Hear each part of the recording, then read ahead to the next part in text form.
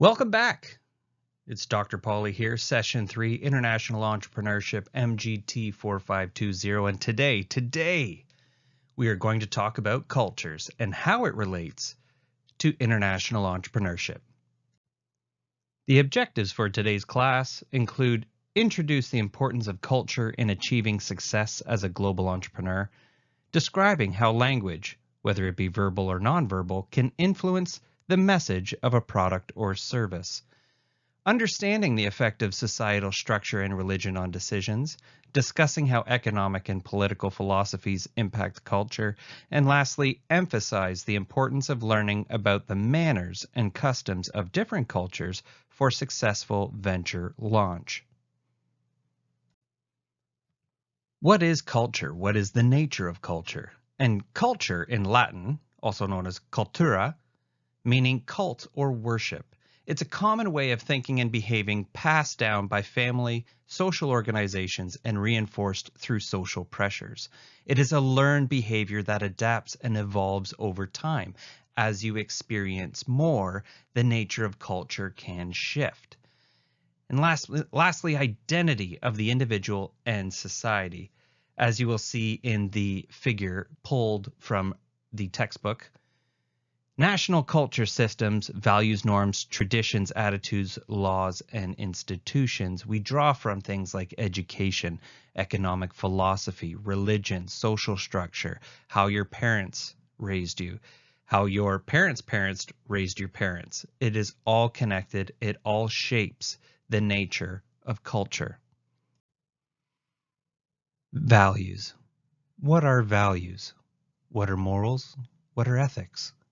And values are your basic beliefs about good and evil, what is right and wrong, what is good and bad. And to put it in perspective, the more entrenched values are in a group. So the more the group believes in those values, the less likely those values are to change. Now, values exist between cultures.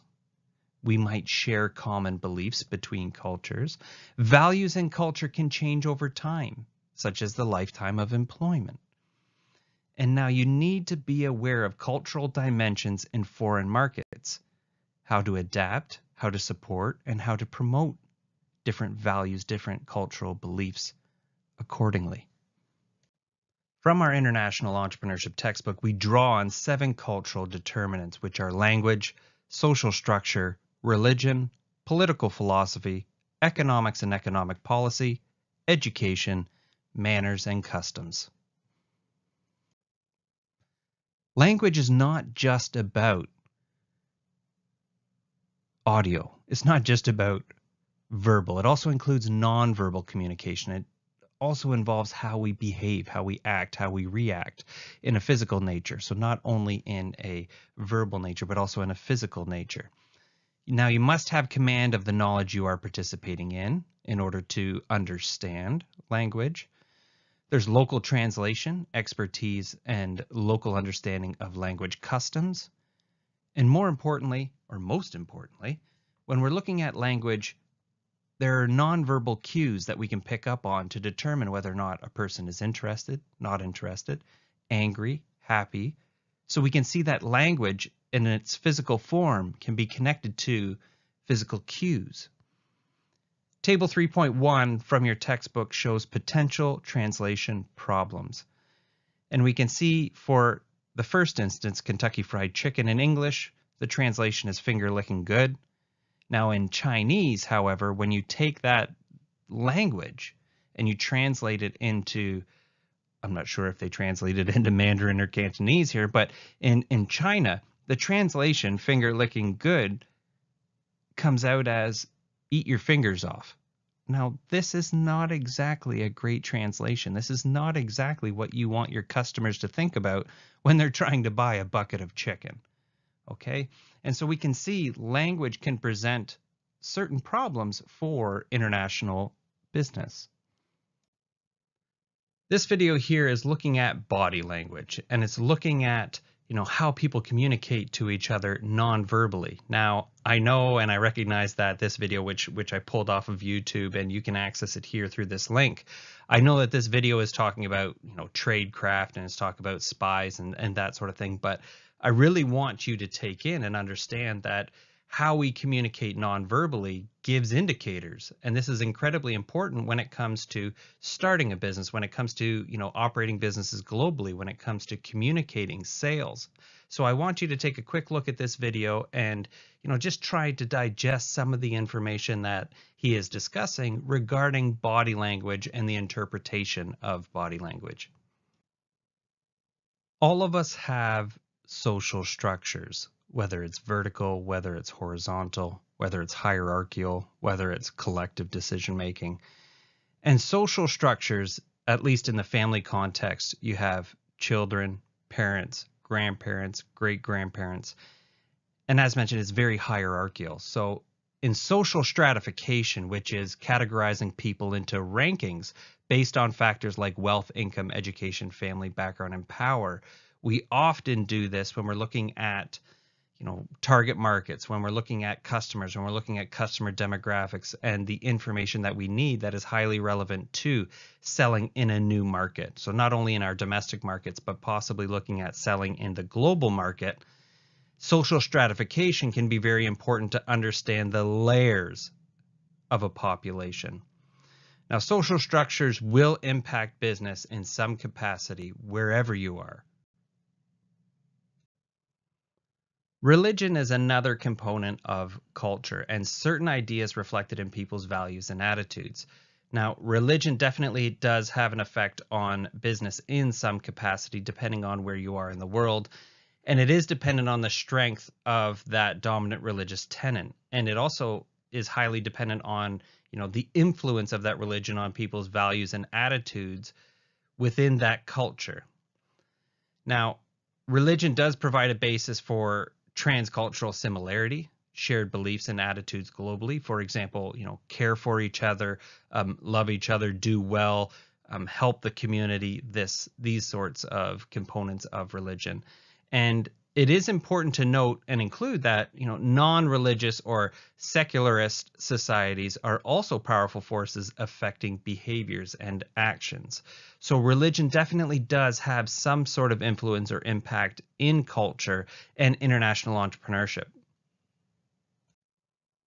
Moving from religion, we have political philosophy. And political philosophy is everywhere each country has its own set of laws. Each country has its own set of rules. Even though some of our countries, such as United Kingdom, U.S., uh, Canada, Australia, New Zealand, are, are all you know founded on English common law. Each of the laws still within those countries, as those countries you know age, as they have new governments, as they form new laws, they each have different laws as it comes to economic trade. And the rules and regulations of a country significantly affect the global entrepreneur and different things that you need to think about when you are either starting a business globally or you're, you know, taking a business globally or working with a business globally. You know, there are embargoes, trade sanctions, tariffs, export controls, and many other different business regulations that you have to think about, especially if you're dealing with certain commodities such as food some countries will treat rice very different than other countries. What are some of the health parameters around that? What are some of the safety parameters around that? And so each and every country does have a political philosophy. They do have different rules and laws that they govern by, and this will have an impact on your business. This leads us to economics and economic philosophy. Just as each and every country has its own set of laws and rules, each set of country, those laws and rules impact how their economy works, how their economy runs, their economic philosophy. And economic philosophy is really the country's overall view of trade and trade restrictions. Now, each country is going to have different components to it. They're going to have different behaviors, different actions and reactions. And part of this includes, you know, their attitude toward balance of payments and balance of trade, convertible and non-convertible currency, overall trading policies and rules.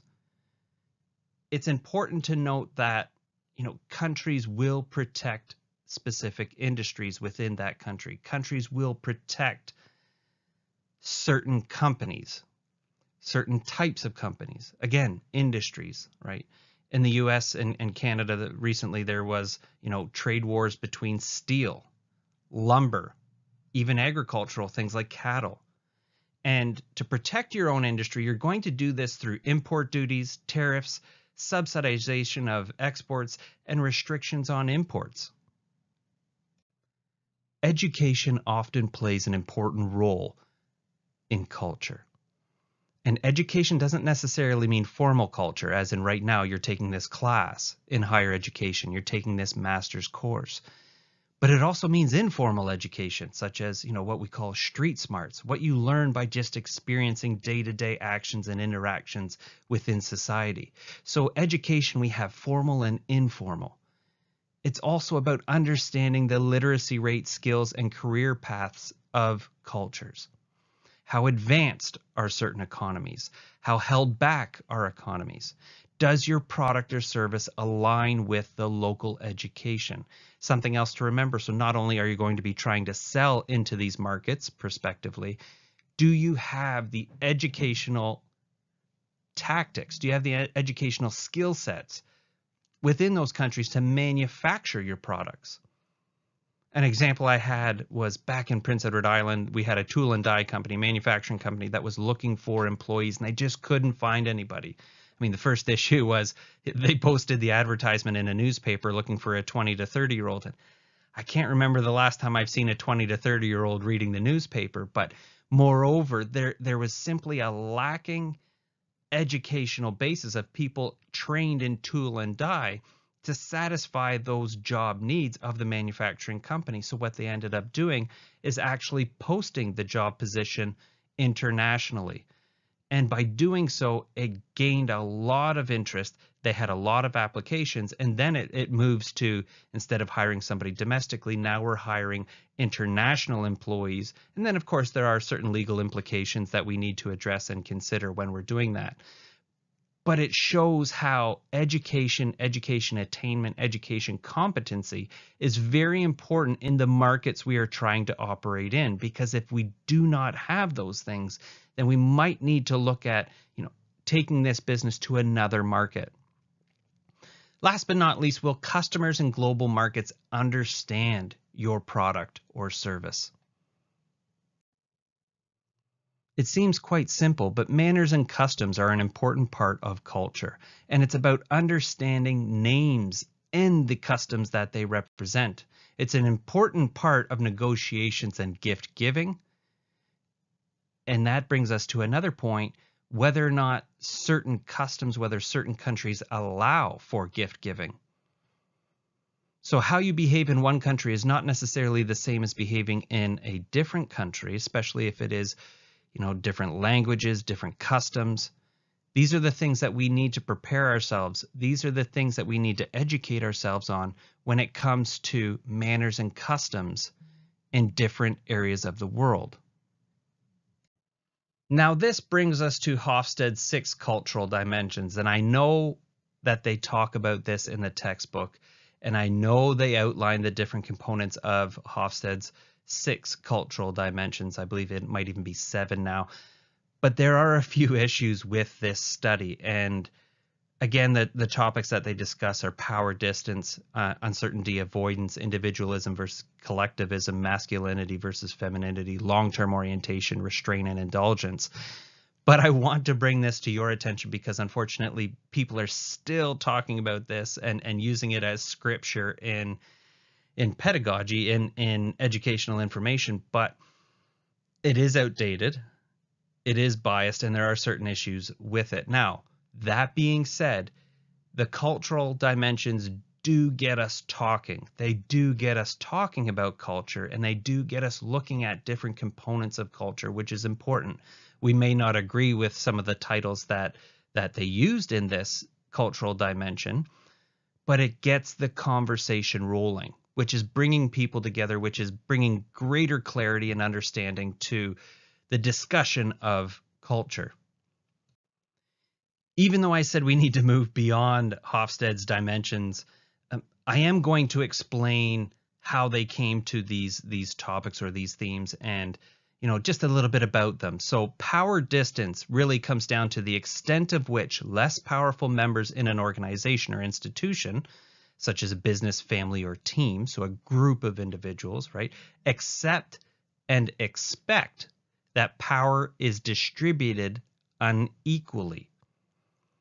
Unequally. So as we're looking at this, again, first instance, I think of hierarchical structures, right? Grandparents, parents, children, grandchildren.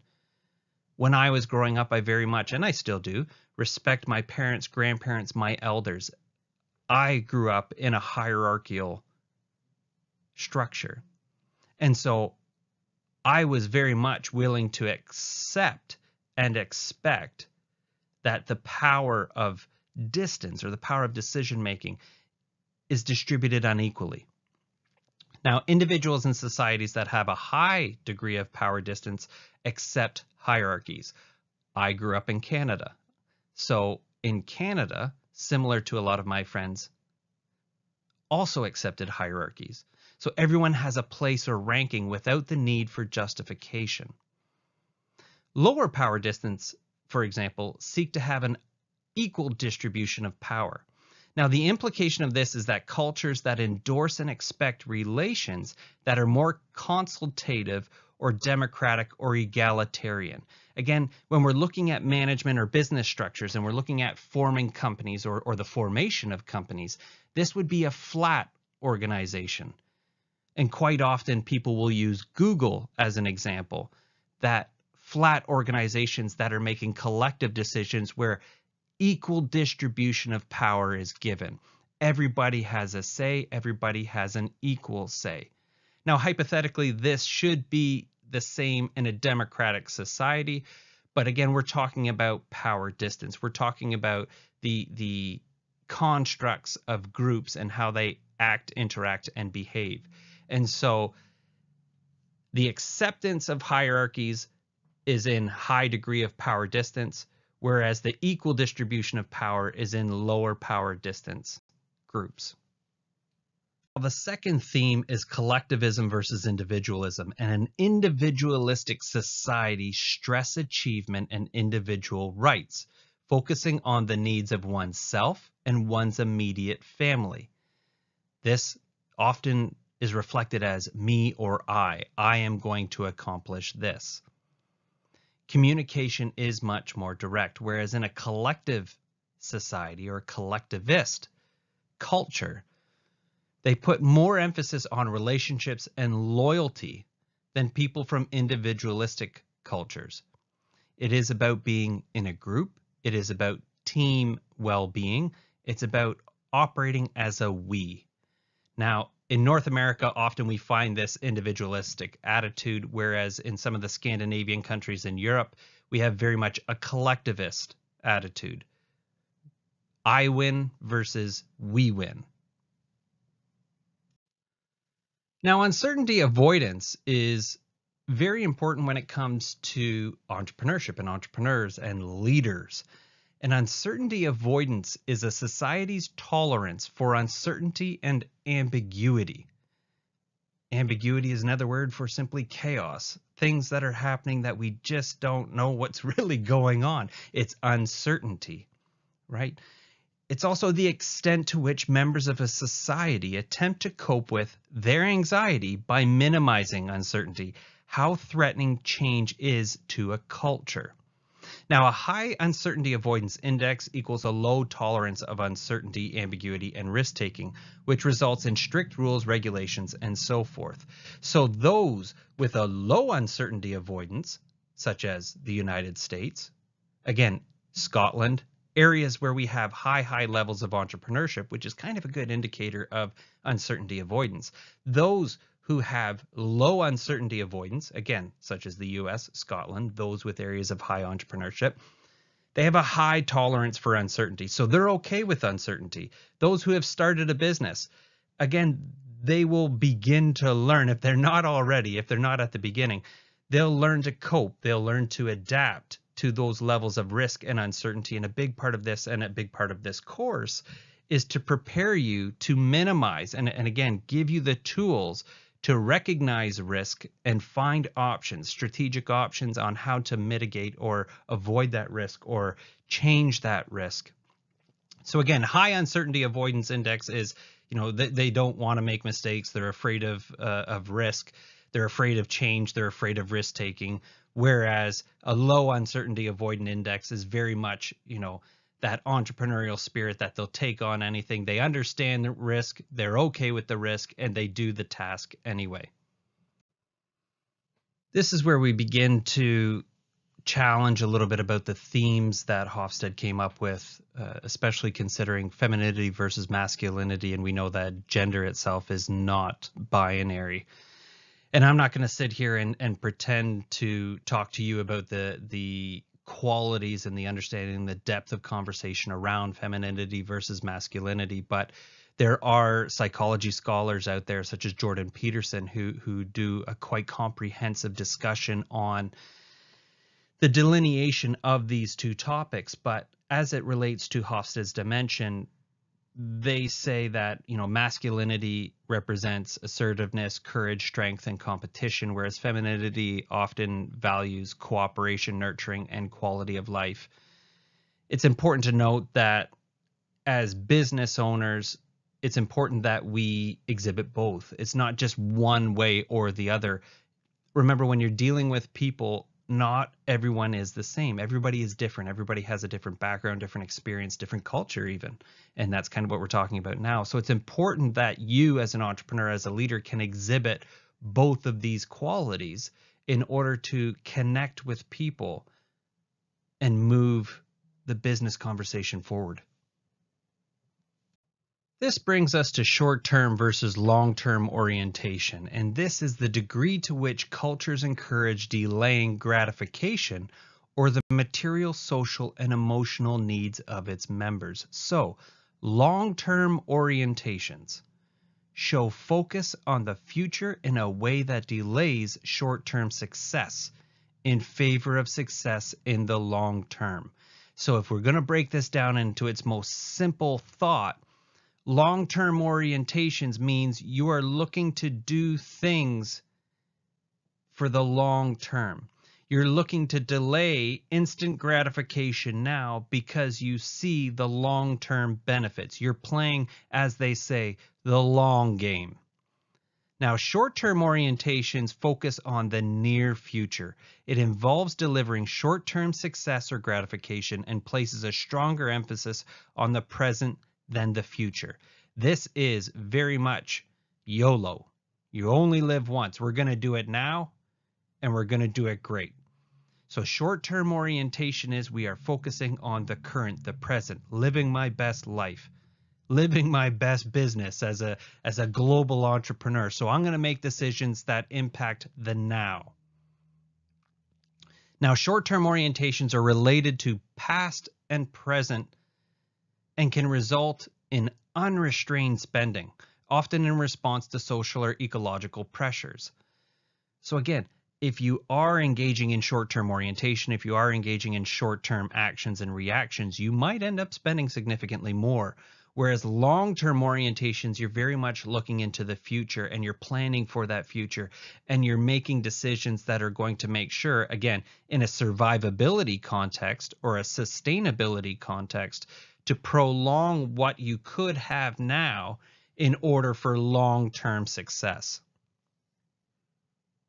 Last but not least is restraint versus indulgence, and this is the extent and tendency for a society to fulfill its desires, measuring impulse and desire control.